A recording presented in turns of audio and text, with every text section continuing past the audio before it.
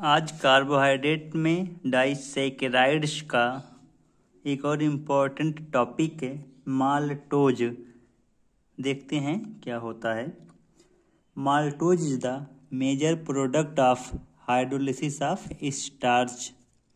जब आप स्टार्च का हाइड्रोलिसिस करेंगे तो क्या बनेगा? माल्टोज बनता है। It is present in germination seed. Specially cereals, seed etc. और यह पाया जाता है या उपस्थित होता है, जो जर्मिनेट सीड होते हैं और अनाज होते हैं इसमें। इट इज़ रेड्यूसिंग शुगर और यह क्या होता है? रेड्यूसिंग शुगर होता है। It's gift positive test with Fehling solution and Tollen reagent और यह पॉजिटिव टेस्ट देता है फेलिंग सॉल्यूशन और टॉलन रिएजेंट के साथ। अगर स्टार्च की रिएक्शन एमाइलेज की उपस्थिति में कराएँ तो C twelve S twenty two O eleven बनेगा। मतलब माल टोज बनता है। और इसका हाइड्रोलिसिस करेंगे तो ग्लूकोज और ग्लूकोज ही बनता है। ये हो गया। मतलब माल्टोज के हाइड्रोलिसिस पे ग्लूकोज के दो मालिक्यूल बनते हैं।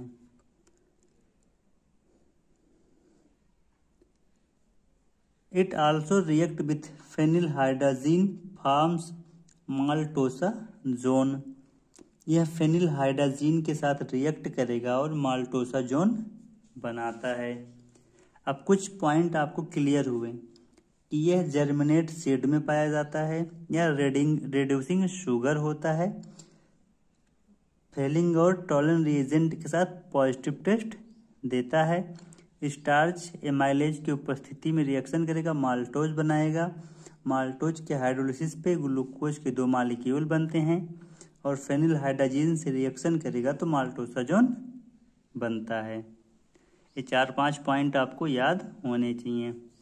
फिर presence of 8OH group on treatment with acetic anhydride to give octacetal derivatives which indicate presence of 8OH group. This fact also indicate that C4 of one glucose is bonded with C1 of other glucose. अगर acetic anhydride से reaction करेगा तो आक्टाइस्टल derivatives बनते हैं। जिससे clear होता है कि इसमें ए टू एच ग्रुप उपस्थित है। और एक चीज़ और कि इसमें एक ग्लूकोज का सी फोर जुड़ेगा और दूसरे ग्लूकोज का सी वन सी फोर और सी वन के बीच बॉन्ड बनेगा। कैसे बनेगा, इसको हम देखते हैं। अगर फिशर स्ट्रक्चर की बात करें तो यहाँ पे कुछ ऐसा स्ट्रक्चर आपको देखने को मिलेगा। एक यहाँ ये ग्लूकोज है, अल्फ़ा डी ग्लूकोज, और इधर एक बीटा डी ग्लूकोज। यहाँ पे एक का कार्बन नंबर फोर जुड़ेगा, इसके कार्बन नंबर वन से। कैसे? यहाँ पे यहाँ से हाइड्रोजन निकलेगा। कार्बन के फोर नंबर से यहाँ से हाइड्रोजन इस कार्बन कार्बन का वन नंबर से ओ एच तो यहाँ से एच टू बाहर निकल जाएगा। इसको वन नंबर इसको टू नंबर मानेंगे। तो यहाँ से यहाँ, इस कार्बन के फोर नंबर से हाइड्रोजन इस कार्बन के फ़र्स्ट नंबर से ओ एच निकलेगा। तो देखिए, इनके और इनके बीच बॉन्ड बनेगा। देखिए, सब कुछ सेम है। इस कार्बन का फोर नंबर, यहाँ ऑक्सीजन, ये बॉन्ड बनाया कार्बन के फ़र्स्ट नंबर से। बस इतना ही आपको करना है।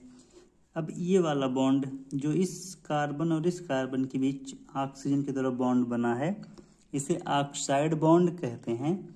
और इस कार्बन और इस कार्बन के बीच जो बॉन्ड बना ये वाला जो पिंक कलर से है, उसे ग्लाइकोटिक बॉन्ड कहते हैं। इसमें दो प्रकार के बॉन्ड पाए गए फिर अगर हम रिएक्शन करा दें सी एस थ्री सी ओ के होल ट्वाइज और ओ से और एट मोल ले लें तो क्या बनेगा देख लेते हैं। देखिए, यहाँ पे सी एच जहाँ पे भी ओ एच था, वहाँ पे C O O C H three जुड़ जाएगा।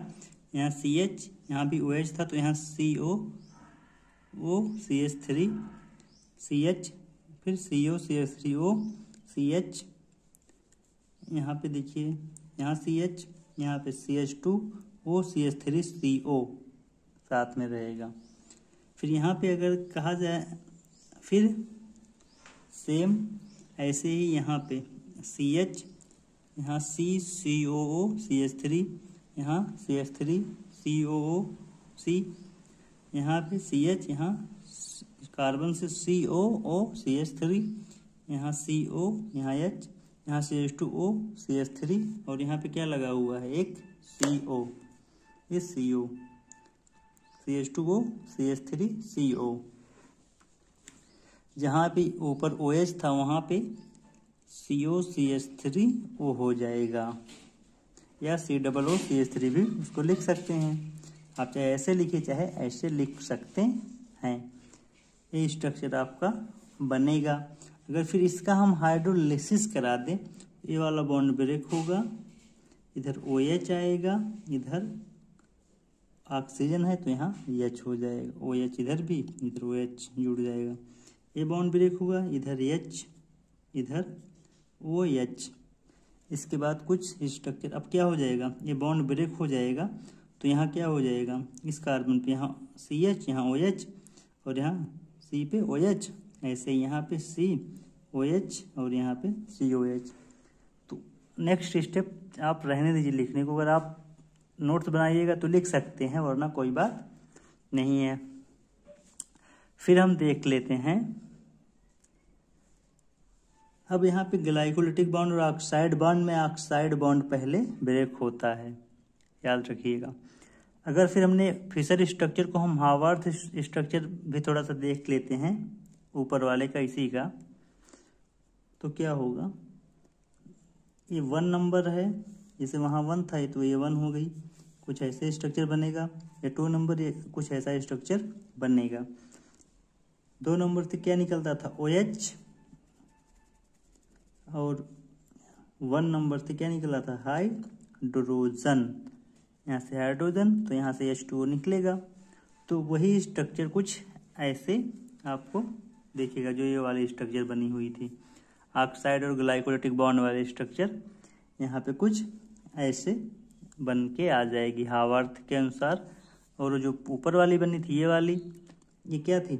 फिशर के अनुसार। फिशर स्ट्रक्चर और ये हावार्थ स्ट्रक्चर ये भी याद रखिएगा। फिर हम देखते हैं size of ring maltose is oxidise by B R two plus H two O two monocarboxylic acid that is maltobionic acid जो माल्टोज होता है, उसको ऑक्सीडाइज किया जाता है बियाटो और एच टू ओ की उपस्थिति में। तो मोनोकार्बोक्सिलिक एसिड बनता है, उसी को हम माल्टोबायोनिक एसिड कहते हैं। Now the complete methylation with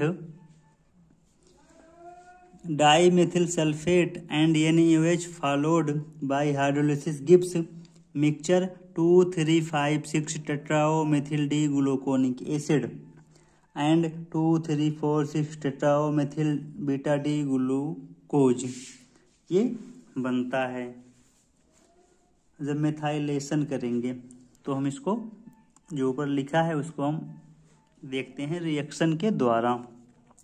C twelve H twenty two O eleven का बी आर टू और एच टू ओ की उपस्थिति में ऑक्सीडेशन हुआ। तो यहाँ C eleven H twenty one O ten into C O O H बन जाएगा। मोनोकार्बोक्सिलिक एसिड इसी को कहते हैं माल्टोबायोनिक एसिड ओ आर इसको हम लिख सकते हैं। C eleven H thirteen O two फिर ब्रैकेट में ओ एच यहाँ eight into C O O H लिखा जा सकता है। ये और ये सेम है। इनकी रिएक्शन कराएँगे एन ए ओ एच और C H three two whole twice into S O four की उपस्थिति में। तो इसकी, यहाँ पर रिएक्शन होगा इनका तो ये बनेगा।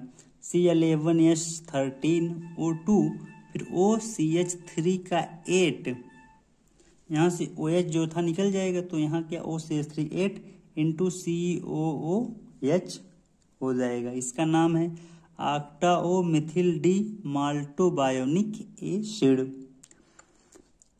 फिर यहाँ पे इनको दो प्रकार से ये बट जाएँगे। अगर हाइड्रोलिसिस करेंगे इसका तो क्या हो जाएगा? यहाँ C double O H C H O C H three O C H three O H O C H three C H two O C H three यहाँ सी एच ओ एच यहाँ C H O C H three C O S O C H three C H C O S C H three यहाँ C C H two O C H three और ये oxygen यहाँ पे ऐसे ring में लगा रहेगा इसका नाम था two three five six tetra O methyl D gluconic acid इसका two three four six tetra O methyl beta D glucose यहाँ हाइड्रोजन है, ठीक है? उसके उसके लिए कोई दिक्कत नहीं है।